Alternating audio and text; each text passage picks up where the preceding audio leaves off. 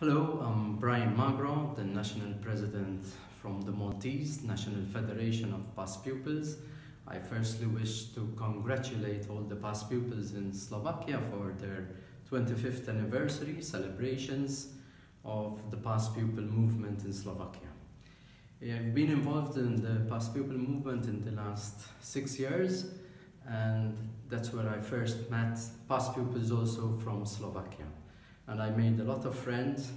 I also last summer spent my holidays in Slovakia to get to know better the country, the culture, and its people.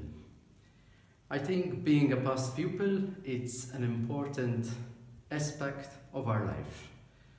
It's about being, it's about what we want to do and what we want to be.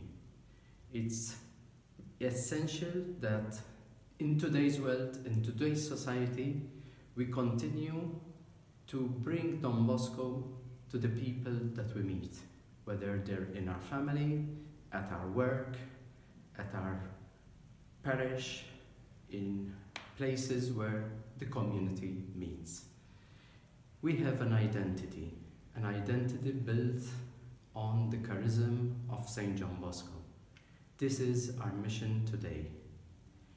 It is good that we learn how to read the signs of the times and what is our mission today. We know what Don Bosco's mission was in Valdocco in his time.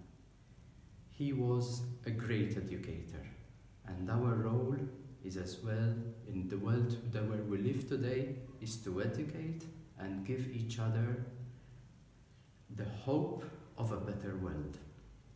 I thank you for giving me this opportunity and I also hope to be with you for part of your celebrations.